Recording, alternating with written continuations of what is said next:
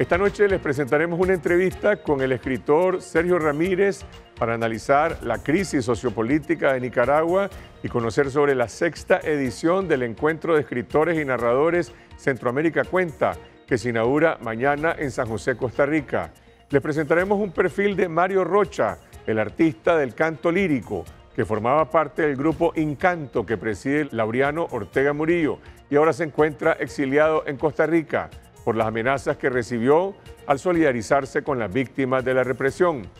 Hablaremos con el doctor José Palé, miembro de la delegación negociadora de la Alianza Cívica, sobre el impasse de más de dos semanas que se mantiene en el diálogo nacional ante la negativa de la dictadura de liberar a los presos políticos. Les presentaremos la historia de algunos de los masayas que produjeron los 51 comunicados emitidos por megáfono al comisionado Ramón Avellán durante la rebelión cívica y que hoy están exiliados en Costa Rica. Y al final del programa, la sátira de las noticias en la última Mirada News.